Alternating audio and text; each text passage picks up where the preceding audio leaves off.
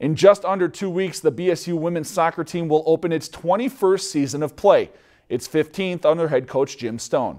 And with plenty of talent returning from last year, the Beavers are expecting big things. Coming off an 11 7 and 1 season, nobody's expectations are higher than the Beavers. We want to do really well as any year, but we have a lot of good young talent coming in and a lot of good old talent returning as well. But this year they're going to let their play do the talking. We want to, you know, go as far as we can and and you know reach the top of the mountain if possible, just like everyone else. But um, really kind of just zeroing in on the process and, and doing the little things right and the small things and kind of let the results take care of themselves. BSU returns 13 players, including seven who scored 33 of the team's 36 goals. The hardest thing to do in the game is to score a goal. So, yeah, we're excited that we have a lot of returning goal scorers. We have a lot of experience in terms of the way we want to play and our build-up play. So, you know, we think we're going to be a tough team to defend. Their roster also features 13 freshmen, and to succeed, they'll have to play as one unit. There are 26 girls, and as long as we kind of have one mind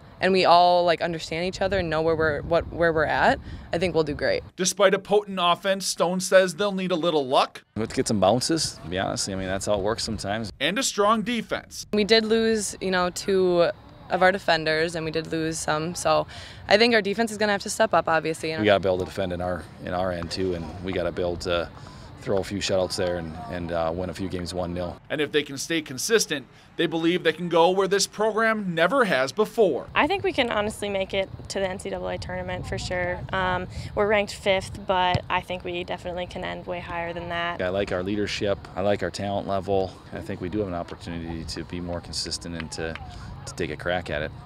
If you've enjoyed this segment of Lakeland News, please consider making a tax-deductible contribution to Lakeland Public Television.